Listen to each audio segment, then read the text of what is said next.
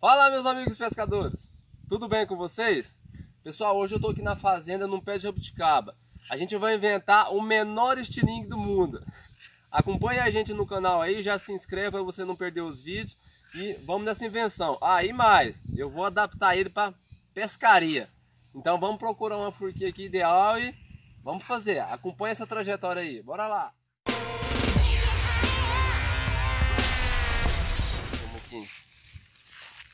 Ó pessoal, uma forquilinha boa. Consegue ver aqui? Eu vou retirar ela aqui, vamos ver. Deixa eu cortar ela aqui.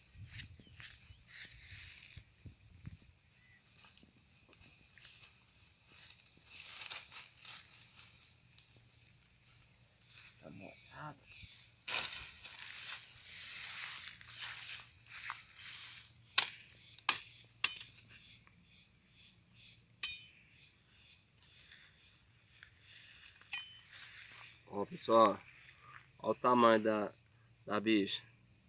Vai dar um monstro de estilingue. Agora a gente vai preparar ela e, e fazer o estilingue. Acompanha aí. Aí pessoal, forquilha cortada, olha o tamanho. Agora o que, que eu vou fazer? Eu vou sapecar ela no fogo, porque a jabuticaba ela tem um, um para tirar a, a casca dela, é bom sapecar que ela acaba evitando de deixar o cabo trincar. Esse procedimento eu faço com, com todos. É para mim não queimar a mão, eu vou pegar essa arame aqui. Vou amarrar nela assim.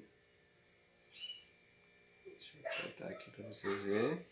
E agora vamos sapecar ela para depois nós, nós descascar ela. Sapecando assim, além da, da da casca sair mais fácil. A durabilidade da madeira ela também evita de quebrar com facilidade.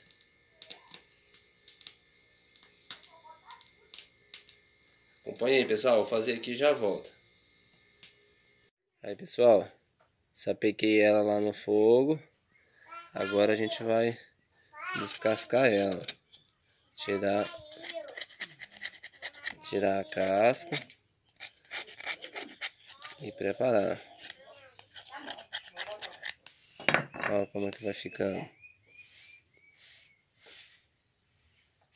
Vou preparar aqui e já volto. Aí pessoal, já descasquei.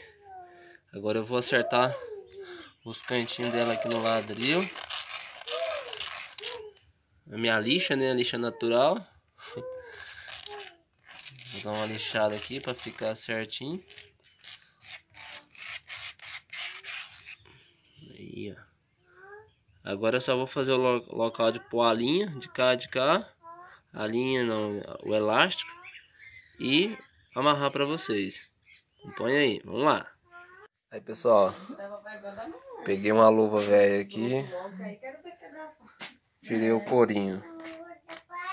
Já preparei o corinho, fiz os buraquinhos. Agora é só pôr a goma. Já vou preparar a goma também. Aí pessoal, peguei uma goma velha do meu estilingue ali e cortei ela em quatro. Eu pensei em fazer com aquela gominha de dinheiro, sabe? Só que ela não tem tanta elasticidade, igual essas aqui tem. Aí eu cortei. Eu vou ver aqui, eu acho que vai ter que eu dividir no meio novamente para dar uma, a largura certa. Eu vou ver como é que eu faço aqui. Mas é isso aí, pessoal. Acho que vai dar certo, hein? Aí, pessoal. O menor estilingue do mundo está pronto. a máquina aí. Agora vamos testar, né?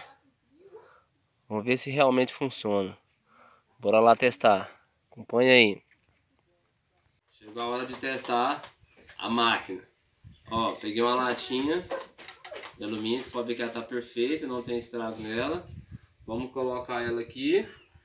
Eu peguei, não tinha o que tacar, né? Eu queria umas esferas pequenininhas, mas como aqui eu não tenho agora, eu peguei umas, umas goiabinhas. Goiabinha novinha ali. Vamos fazer o teste. Vou colocar aqui. O primeiro tiro, aproximadamente um metro de distância. Vamos ver o resultado, né? Vou testar ele agora. Vamos lá, vamos ver. Bom, eu errei o primeiro, pera aí. Eu também tô, tô acostumado com um trem desse tamanho, né? Vamos lá, segunda tentativa. Ah, vamos ver. Caramba, rapaz. Ele tem força. Olha aqui, gente. Olha o amassado que fez.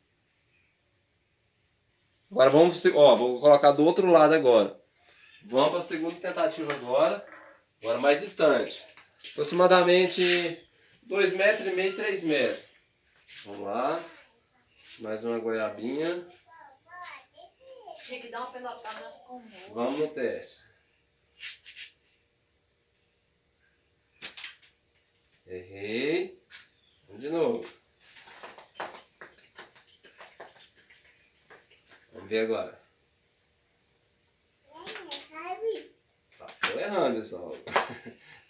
É muito pequeno, gente. É muito... Até a minha mão ainda é grande. Vamos lá. Gente, né? Vamos, vamos mais essa agora, vamos ver.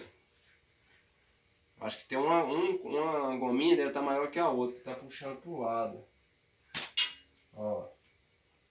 E também essa goiabinha parece que tá variando.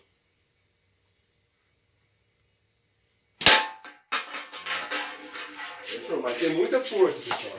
Vamos ver o que fez. Ó, esse foi o primeiro. Ó, o segundo. Onde foi? Vou treinar mais e vou adaptar ele para pescaria também. Vou fazer uns vídeos para vocês. Vamos ver se a gente consegue capturar pelo menos um, um lambari, né?